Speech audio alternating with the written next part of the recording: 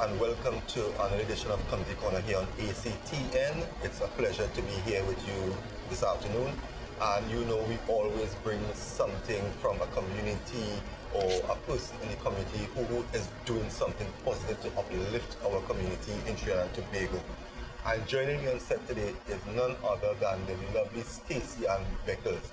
Now, you would have seen Stacey Ann sometime um, back here on ACTN and you know of a story.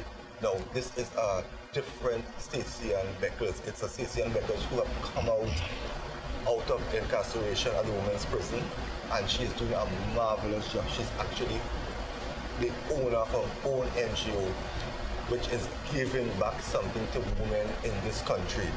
Stacey is now the, the, the, head of the Women of Transformation. It's a non-profit organization. And I want to go a step further to ask you viewers who are viewing this program that Stacey is in need of assistance, any form of assistance. And during the course of this interview, you will understand and you will know why she needs this, this assistance. So, Stacey Ann, it's a pleasure. Hi, thank you. And Good day. welcome to ACTN. Thank you for now, having me. Now, as I mentioned, and I know it's no secret, uh, Yes. you were once incarcerated. Yes. That's behind you now. You have come out now and you have formed Women of Transformation, an NGO. Tell us about this NGO. Well, George, uh, Women of Transformation is an NGO I found most needed in our country among other NGOs. I, whilst being incarcerated, I would have felt the need to help our women in this society in the form of finding their full potential. Uh, our young ladies have realized, even whilst being incarcerated, their self-esteem was not low, but it was almost as high as the sky. They had no um, no remorse, some of them. Some of them had no morals. They didn't even know what was moral values.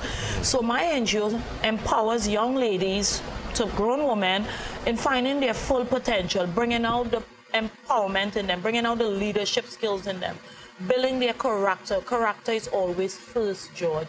You know, it was character that I did not understand what would have led me to a life of crime. Because when you do not know yourself and what your purpose is, you will fall into the hands of anything. So Women of Transformation is an NGO that helps empower young girls, um, both social, private, um, school-wise, education-wise, help empower them through workshops, seminars, mentorship, and other um, stuff that will help a woman to find herself. You know, again, being a reverend and a minister of the gospel, I don't forget God. So, Women of Transformation is also founded on the moral values of Christ Jesus, our King. You know, so that's what we do, and that's what myself and my directors and others who are on board, we go into various schools. Um, I work with girls at St. Jude's, girls of my community. You know, they say charity begins at home, and I show them where they can prevent. Right now, I'm charting on a course called the harm reduction course, you know, helping the girls of the village, girls of St. Jude's, and other girls that will come into my pathway reduce the risk of going to prison or even to the grave. Now, I know that um, in this life there are so many challenges that we face. Yes. Was the experience challenging for you coming out of prison and uh, settling back into society and starting this um, NGO? How was the, the transformation from coming out of the prison back into life and starting this um, this, this this transformation? Because you know the stigma of these people out there. Once you come out of prison, they label you a convict, you know, and you now have to go to people now to seek to convince people now that, oh, I want to start this organization, I want help here, I want help there. How challenges was that for you? It was challenging and still is, George, per se. And like, for instance, when I first wanted to start this NGO, I was confused. I was crying on my bed one night and I said, God, you know, I'm invited to speak all over as the ex-offender with a testimony. However, I know the Bible says God will make way for you through with your testimony. You will go through kings and kingdoms. And I said, God, give me a name. The name I had had already gone. So he gave me a second name. And he said to me, you cannot transform one with just words, but you can transform them by your life being a living testimony. So right there and then, I started overcoming because there were times I will go to certain companies to actual um, like slippers or t-shirts or because even in my community of the San Juan area, I encounter a lot of young girls, their mothers will come to me or their fathers who are single parent, you know, my daughter don't have this for school. I, I heard you on TV or something. Mm. And then even where I, I do my little workshop with girls in the St. Jude's area where St. Jude see about their girls, but mm. I who do a course with them like to give them something. Sometimes they have a need. Some of those girls have no one visiting them at mm. St. Jude. The government does do their part, but they would like a little extra. Mm-hmm. And I like to help. But now coming into the Christmas season, I've seen where there's still a great challenge because I have ventured to nearly every snack company in Trinidad and still up to this date, I'm waiting on approval. Mm-hmm. You know, a few has stretched their hand and I thank God for the companies who have stretched their hand to help me to treat these girls mm-hmm. later on in December and I'm still trusting God for more to come in. But it is a challenge, even when I speak sometimes. Mm-hmm. Um, it's emotional for me because in speaking, I'm getting healing still, and I'm healing others because I'm teaching them about the character traits that will help prevent you from mm-hmm. being in a place where I was or even with the grave. Okay. What has person taught you that you are going to take now and bring it into this NGO and pass it on to young women. So enabling young women not to really or try to avoid going down that road of um, crime. Well, what prison has taught me is patience. That's one of the first thing because you gotta wait for everything in prison. You gotta wait until they say on the line to get your dad. You gotta wait until they say your visitor is here. You gotta wait until they say the bus is ready to go to the clinic. You got to wait you can't override. You got to wait until they open the gate to even go um, get things washed, wash your linens. You have to wait. That was one of the major things. Patience. Also, prison has taught me to forgive. Mm-hmm. I was very ruthless back then. Forgiveness wasn't part of my thing. I know I was kind. You live in a life of crime. You help this one, you help that one because it was easy. Mm-hmm. But prison taught me forgiveness, forgiving my family, forgiving those I would have been hurt by, seeking forgiveness for those I would have hurt. And um, it also taught me, last but not least, to love even those who don't even deserve love. Mm. Because whilst being incarcerated, I would have come into contact with women who are very different to me. Mm. And you know, you had to love them because you are put into the same cell with them by force sometimes. And you have to love them.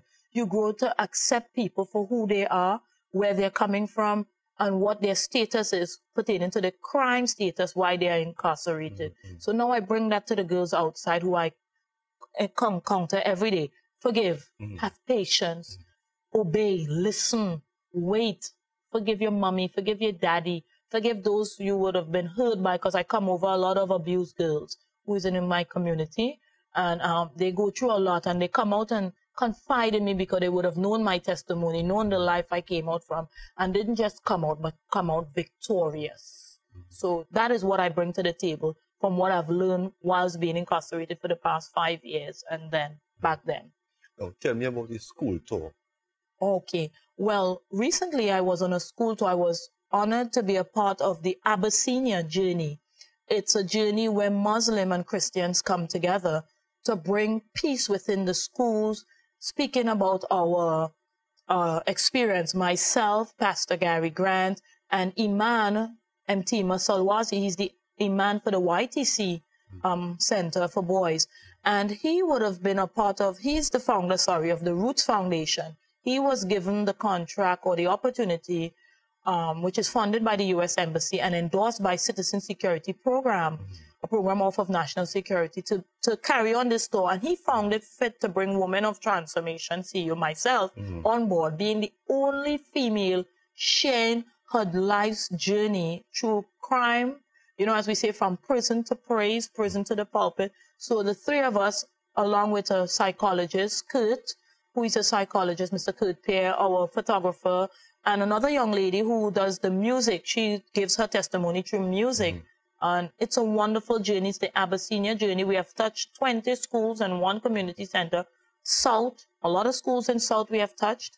um, in the western part of our country, central, and about one in the north, which we are having a part two next year, and we'll be heading mostly to north, south, and mm. the hotspot schools. Mm. It has been a journey of change. As you know, Abyssinia, the name would have been Ethiopia before, mm. and it's the story of Christians and Muslims. Because, you know, the theme was that Abyssinia, because the thing is now in our country, the war, Rasta City Muslim, mm. we sought to bring an end to that in the school area. And that's what the journey was How about. What was the response from the students? Wow, it was overwhelming we had girls crying, boys asking to speak to Pastor Gary and Mr. Mtima, who is head of the tour. Mm. You know, the boys would want to know how was their prison life, because they both too would have had a prison mm. journey. And the girls, oh, it was emotional for me because I saw my daughter, I saw my nieces, I saw my sister, mm. I saw mothers in the crowd who would come to the school and sit down to hear the the, the um, whole hour and a half session and mm come to ask questions. I had very intimate questions from young girls that I would have transferred to the psychologist because it's so emotional yeah. to hear our young girls in our nation's school going through so much, but yet they find it hard to go to their guidance counselor because trust is a serious thing. Mm. And they found the need to trust Stacey Ann. Because mm. when they see and hear what Stacey Ann is saying, mm. it is in their era and their time now. Okay. I know we have to take a short break, but when we return, um, I want to touch a bit on the NGO itself, you know, yes. because um, we need the viewing public, you know, to mm. get a full view of yeah. what this organization is um, is really all about, mm-hmm. what it's mm-hmm. going to be um, doing for the young women of, of Trinidad and Tobago mm-hmm. and uh, the NGOs. It, it, it is something that we need presently because when we look at our female in Trinidad and Tobago right now, yes. we are seeing young girls going down a road that is is, is either going to lead to yes. either incarceration or you know being a the single grave. mother or yes. even the grave, yes. right? Or even you know a life that you can just be, be, be totally scarred. Yes. So we need oh, organizations like this, and we need people to assist because you are new. You started this as far as August of this year. Yes. But the, the, the birth has been long before. Yes, it so, was. Right. So when we come back, we will touch a bit about on those yes. things. Viewers, this is Community Corner here on ACTN. Today we are talking with Stacey Ann Beckles, the Director for Women of Transformation and New NGO. We'll be right back after the short break.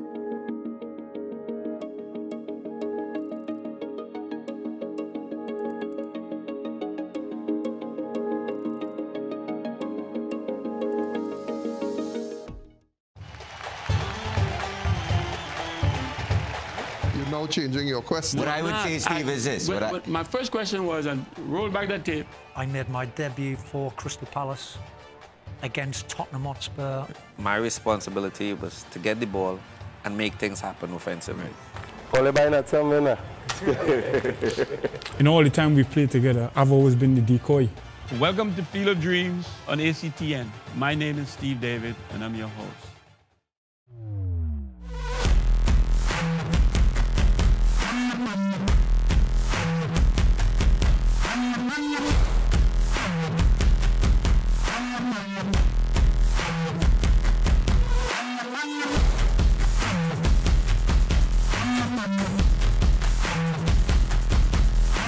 Evening, Trinidad Tobago. Welcome to another edition of Scoreboard here on ACT, and it's always a pleasure to be in your company every Tuesday evening between the hours of 8 and 9.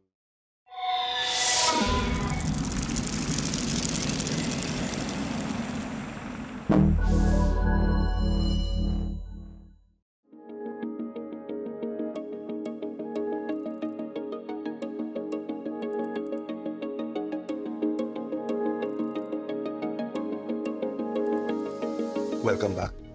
Welcome back, viewers. And Stacey, before we took the break, I mentioned that Women of Transformation started in August yes. of this year. But the birth was long before that. Yes. Did it start in the prison itself or when you came out and you were reflecting on your past and what you can do to get back into society? Actually, George, it started about four weeks after I got the news that my common law husband was murdered before I came out of prison. Because you would have known that um, 10 weeks before I was released from prison, he was killed. Yeah, yeah. So right after I got the news of his murder, I lay down in the cell crying and saying, what can I do to stop other women from going through what I am feeling right Mm-hmm. now? I took no note of it. And when I got released, I lived with my pastor, who's now deceased herself. Mm-hmm. And, you know, I said, boy, I want to be a voice. I got the job at Vision on Mission. Um, a wonderful CEO, Mr. Wayne Chance, you know, he also was an offender, you would know. Yes, yes. So he gave me the opportunity to share his platform being a caseworker at Vision on Mission. And in getting that opportunity, when we go to the prisons of different areas, you will hear women coming to me with issues and, you know, they will come to him, but they will gravitate, you know, a woman will gravitate to another woman. And I saw the need. And I said, you know, I need to do something. Not just, I'm not about money because I realized in my time, no one, there was no NGO to help me. There was no NGO came in Curepe Junior Sec where I went. There was mm-hmm. no NGO came in the neighborhood and gave me a shoe. There was mm-hmm. no NGO. They had one or two good church people who blessed me, but when they bless you today, you can't go back to them tomorrow. There was no NGO that I could have run to when I was raped. Mm-hmm. There was none. So I want to be the NGO that a young girl could call me and say, Miss Beckles, I'm going to talk to you today. Please, just mm. somebody to listen. No one listened to me when I was raped. Mm. No one listened to me when I walked into a life of crime. They just looked at the gain. No one looked at the loss, which is great for me even now, mm. emotionally. I want young girls not to go through what I go through. Had to be at the clinic every week to get medication because you would have messed around the wrong guy. I want girls to realize you are a queen. It doesn't matter if you're from Marabella, the Beetham, Cedros, Tobago, wherever you're from, you're a queen. And I want this NGO to be the one to let young girls know you are great, empowering one girl at a time, building character, building self-awareness, doing the self-determination theory. That's what I run where they will have the, the conscious decision to see where they are great and where they can still work on. No one is a loser. And that's what society do. You do wrong, we put you away, you do this. But I thank God even for the prison system because even in my mess, God brought a great message. Now, you're planning a Christmas treat for the girls, Yes. the young girls in your community, Yes. right? You are in need of certain things. Yes. What um, I know that we're gonna um, put up the number for the account at Republic Bank, Yes. right? So anyone can, you know, send donations to this um, account. But what do you need? Well, I'm trying to treat the girls both on a um toiletries, food. You know, it's Christmas. Mhm. And I realized And these something. are the girls from my community and both St. Jude's. right. Now, the girls from St. Jude's, I want to make it very clear. The government sees about them. Some of them have families, some don't. hmm So I have a class I do every two Saturdays or three Saturdays with about 60 to 80 girls. Most of the time it's 60 because they go home, some go. Mhm. Where I want to treat them, I want to know what it is to be loved in spite of making a mistake. Because God loved me. And whilst being incarcerated, um, George, a lot of people gave me, even Pastor Sammy, may his soul rest in peace, Yes, they would yes. come and treat us Uh, at Mother's. Day, Mhm. make us feel like the rose Actually, they that's, gave that's, us. the first time I came in contact with you. Yes, and Yeah. they will come and pour. Prison fellowship will come, Angel Tree. People showed love to us, even though we were uh, were crime people, we were criminals, as the society say. Mhm. I want to show the girls of my community and other communities I visit, Tunapuna, Rima, any home I pass by, and the girls of San Juan, Petit Bourg, you know, let me bless you. Now, there are some boys in the mix I bless too. There are 10 boys I help see about, and you know, there are mothers who were incarcerated who have children who still corresponds with me. How you going? You know, my, my daughter needed this, and I will jump out. And I don't go to the social media and do all this to show what I've done. Yeah, 'cause yeah. God is not a showing off God in that way. Mhm. But I need help in getting snacks. You know, um, grapes, apples, the things you will want to taste for mm. Christmas. Also, I'm mm. venturing in feeding the poor mm. on Christmas morning. Okay. I've realized that no matter what I've had on Christmas morning whilst being incarcerated, I was lonely. I had no one to say I love you more than you know. There's the office, and but no one really. You have to eat, so your food was there, but someone really coming. So that's another project I want to get help with. In all the donations I would receive, you know, I'm putting everything together. I'm helping the girls of the community of San Juan Petit Bourg Tunapuna, um, even as far as Arima, there's some girls I deal with there, very small people, and also the poor. The Bible says that God is um, father to the fatherless and he's a husband to the widow. He cannot come off his throne. We have to do it. So by people sowing into this, the life of women of transformation, they're not sowing into my life. They're sowing into the lives of young girls, mothers who, you know, can't go and get a food card. Mm-hmm. Who, who can't just go into Massy and say, can you give me something? And they're not asking for much, some rice, something. I just want to do that because I would have come from a place like that. Mm-hmm. And people stretch their hands to me. So I want to give back even to the poor, fix a lovely box, some ham, this. And I want to do that. It's the desire of God that we give back. Mm-hmm. I'm going to put up the account number and the telephone number so anyone who's viewing this program, it's for a good cause. Please assist uh, Stacey and Beckle. Stacey, all that you are doing here, Yes. right? All this work that you're doing here, seeing about the girls in your community, the girls in St. Jude. You are a single mother. Yes, I am. You have a young daughter. Yes. How do you manage? Well, Abigail, the woman of God, she is much on board with me. She loves when we go to St. Jude. She loves when we give. Sometimes she has to tell me, Mommy, um, give away that now. Oh gosh. And I say, yes, well, I'm trying to see who to give it to. Mommy, just give it away. She tells me who to give the things to. And I teach her that God says that we cannot love only who love us because she thinks you can only give who you know.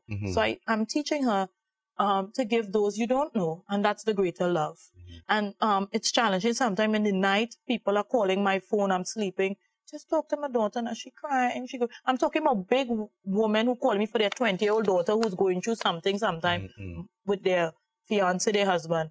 But I always lead them to the scripture. And if they are, because I have a lot of non-believers that call me, but I am not prejudiced to anyone. Yeah, yeah. But it is challenging. Sometimes I have to leave my daughter and head out to this area where I won't carry her. But I always have someone there to look after her for me. But it's all for a good cause. Mm-hmm. It feels good knowing I'm going to save this young girl from the grave. I'm going to save her from being a murderer, which is abortion. I'm against abortion. Coming from a personal place, I'm against it. So I'm going to save a lot of teenage pregnancy. And how I'm going to do that? By sharing my testimony along with others I will bring, I bring on board and will bring on board to help build character first, other seminar workshops. And a lot is happening. I'm looking to partner with United Nations soon. Um, they have the 17 goals, you know, gender is one. And for me, we have to help our young girls. They are the next generation. They are the mothers, the backbone of this country, women. This organization, this NGO rather, is fairly young. It is. Where would you like, or what are the plans you have for this organization for the next two or three years? Where would you like it to reach? Where would you like it? What would you like to accomplish? To be honest, George, my heart goes out to girls who will come up to me and say, um, I would like to get a nice place to stay because I'm being hurt at home, whether verbal or physical or sexual. I would like to have a, a, an organization in the fact that where I can be a shelter, you know, a physical shelter where I can give girls a place to stay. They're comfortable, they can sleep, um, they are loved without expectation. They are being fed, they are being clothed, they are being educated, a center, having teachers on board, voluntary teachers, because, you know, I don't have money to pay anyone now, but I mm-hmm. know God is faithful to mm-hmm. finish that which He has started. I want to see this NGO not just in Trinidad, but Tobago, um, you know, having something in all the Caribbean countries called We Are One. We have mm-hmm. seen that with the past hurricane season. We are one. One fall, it's like a domino effect. I want to be on board helping build back society, building the character of a woman, helping her find her place even at a very young age, starting in her home. No, I'm not allowing this. No, I'm going to tell on this. Tell somebody. Tell someone. I want to be the ear to those who people say, I don't want to hear you. I've given you enough chance. When I look back as a believer and as a minister of the gospel, God has given me several chances. So I want this NGO to be like a safe house. At the end of the day, a place where women can come and have a second chance. Even a, I want to go as far as having a place where women with children, you know, I have two children, three children, I have nowhere to go. I'm speaking from experience. I came out of prison and I had nowhere to go. My pastor took me and blessed God the day I walked out of prison with my one daughter. And God bless her So, But how many other pastors can do that? Some of them are not even in a position. They want to, but they mm-hmm. can't. And how long will they tolerate it for? God was good to me. I got a place a few months after, and within the six to seven months, and right next door to my pastor's home. Mm-hmm. So, you know, I want to see women of transformation really being a safe house for young girls and women within now and the next two to three years. Not just I- saying change, but doing change. I want you to send a message to the critics. And when I say the critics, you know, there are those who they have no heart. You you're being labeled an ex-convict. Hmm. You're outside here, and as far as they're concerned, you're just another ex-convict trying to maybe pull a wool over somebody to live a good life, right? Because as you said earlier, a lot of us don't have that forgiveness in us, Mhm. and any one of us, including myself, could end up could have been in prison because we have all done some thing that wasn't right. Some of us just didn't get caught, True. right? So true. And where you got caught and you saved your time, you're out of prison. But some of us are still in prison because we ain't get caught yet and we living with that guilt. Yes. What will you tell them? Well, George, I will tell the viewing public right now. If you're a believer, I should not have to speak very long to you, for forgiveness is key to the believer. You cannot enter, you know, Paul said, you can do everything, but without charity, you do nothing. And I'm not saying this to get a big donation. I'm going to do it because if God called me to do a work, He will equip me with the tools. Mm-hmm. So that's for the believer. I don't have to talk long to the believer. But for the naysayers, and if you're not a believer and you're viewing this for the first time and you're hearing, I want you to look into your heart and look at your neighbor daughter. And remember the words that it takes a village to grow a child. We have stepped aside from that and say, not me, that is the neighbor daughter. But there's a saying, if the neighbor house on fire, wet yours. Mm-hmm. Don't spit on a windy day, don't judge. Crime, it's a very thin line. You break a traffic ticket and you don't pay it in time and you don't show up for court, there's a warrant put out for you. You go down to prison, you take a taxi and they drive, there's a roadblock and the car have marijuana. They don't want to hear you're a passenger. They see you laughing with the driver. Innocent you going to prison for something you didn't do. Do not judge, but instead get involved. Let's make TNT better. Don't look at the girls on Facebook, the young girls fighting and putting in your mouth. Let's do something about it. Women of Transformation is doing something about it. We are getting to the hearts of the girls and the women because there are a mm. lot of big women with little girl behavior mm-hmm. because they didn't get the opportunity to grow up. So corporate Trinidad and Tobago, I want you to come on board. Mothers in your home looking, come on board. You have a daughter, you have a sister, you have a neighbor daughter. Be the change you want to see in TNT by coming on board and helping. And for those who want to get in contact with me, because I speak in schools, churches, and congregations, um, bringing empowerment speeches, br- bringing my testimony, my number, office number is 237 0067. Again, 237 0067. My mobile, 499 7818. 499 7818. Email address for those who will want to email me privately. It's Ann Williams at Ann Williams TT at gmail.com. Again, Ann Williams TT at gmail.com.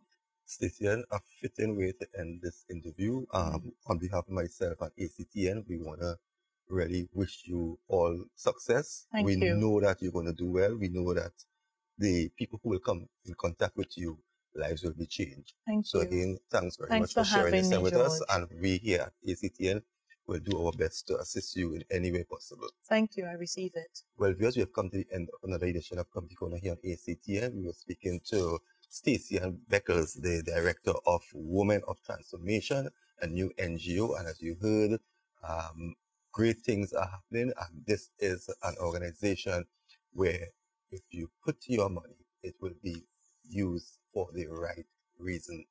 Uh, there is an account number at, um, on the screen from Republic Bank. There's phone numbers, so you can get in touch with Stacey at any of those um, numbers.